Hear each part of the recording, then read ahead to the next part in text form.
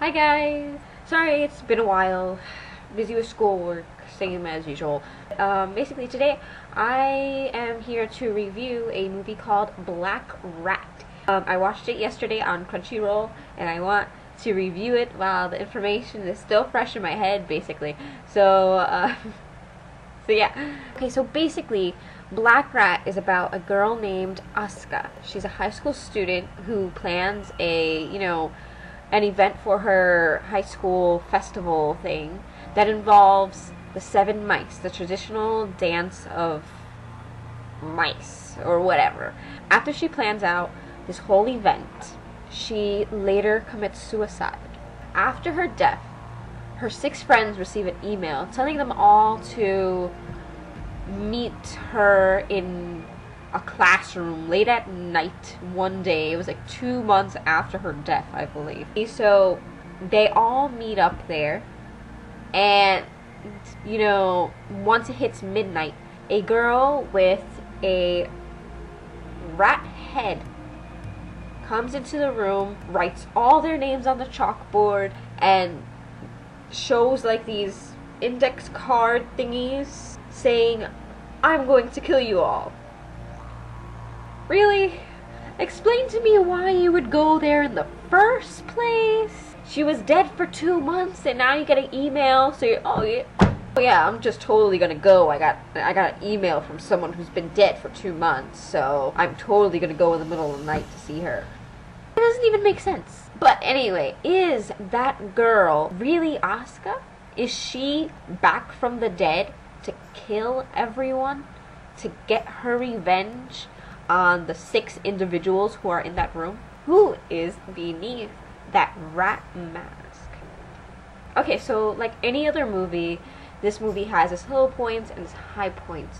And I'll start with its low points just because I want to work on the bad and then go to the good, so be like, hey. So, um, yeah.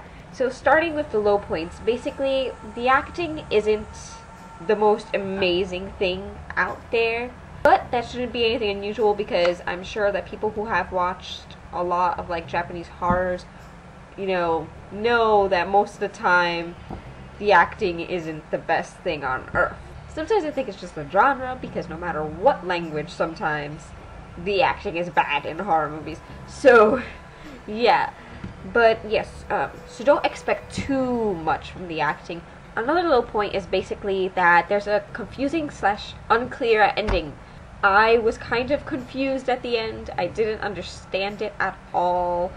Um, I don't want to say what happened, mainly because I don't want to spoil this. This is a spoiler free review. But, like, um, I think when viewers watch the ending, it'll be a little unclear with what just happened. Because honestly, I'm still wondering. And, um, it made me want to watch the movie again because I was like, you know, I don't really understand that. I want to know exactly what's going on here.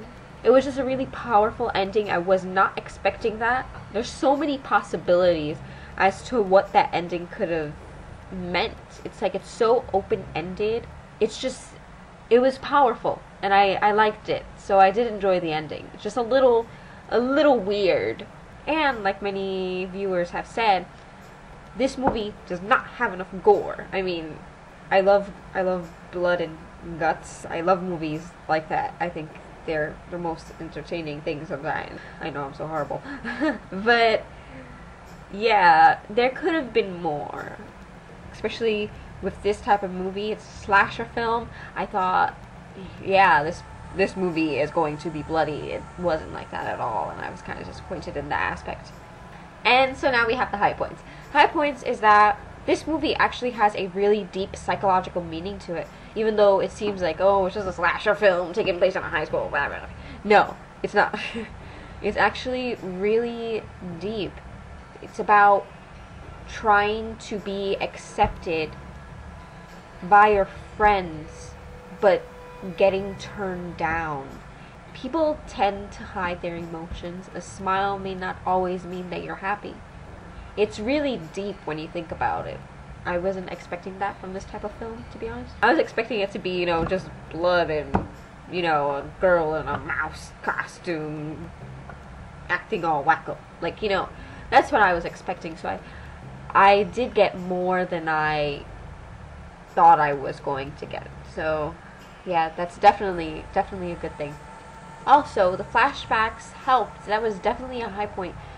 I thought that the flashbacks were very emotional. Like you sense the conflict. I thought they were realistic and you know, very believable. I like them a lot. Also, if they didn't provide flashbacks, I think we'd all be confused and we'd also have no idea why any of that was happening. So I rate this movie three stars. Um, was it the best? Obviously.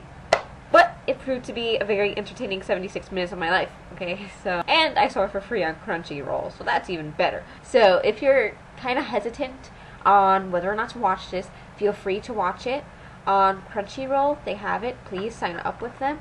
If you like it, I encourage you to buy a DVD. It was released June 10th, 2011 by Tokyo Shock. So if you are interested, please buy the film or watch on Crunchyroll and and just enjoy the movie. Okay, so now I just have a few things to say about this movie.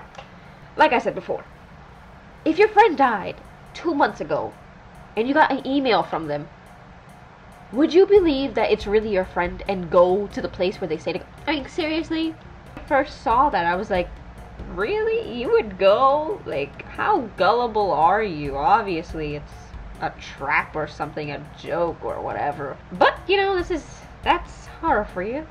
You know, that rat head is actually really creepy. I went to bed with nightmares last night. That's how creepy it was.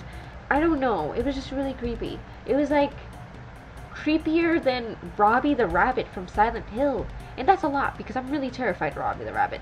Like, seriously, if I ever saw that in real life, I would run away. I, I was definitely not friends with that rat head. And then with the bat, too, that reminded me of Paranoia Agent, the anime. I, I can't watch that anime either, to be honest. I think it's the thing with bats. I am afraid of people getting hit with bats. It scares me. But, um, yeah.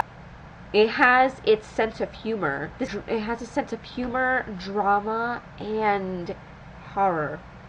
And just overall creepiness. I felt like they didn't incorporate as much blood as they could have because they wanted to leave a lot to the imagination of the viewer and the fact that a girl wearing a rat head is creepy enough. I mean, really, that could have been the entire movie just being chased by a rat girl, and I would have been scared off my seat. you know, because they basically want the viewer to think. They want the viewer to be like, who is this? Why is this happening?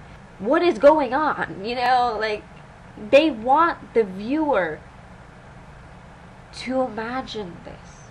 Oh, and by the way, if Asuka was real, I would be her friend because she was awesome.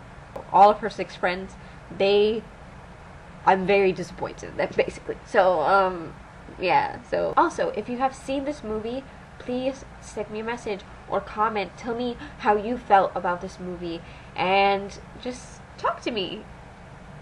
I will be reviewing more Japanese live action films, and I will also be getting back on track with my anime reviews and other videos soon. My summer break is coming, so I'm very happy. I'll see you next time.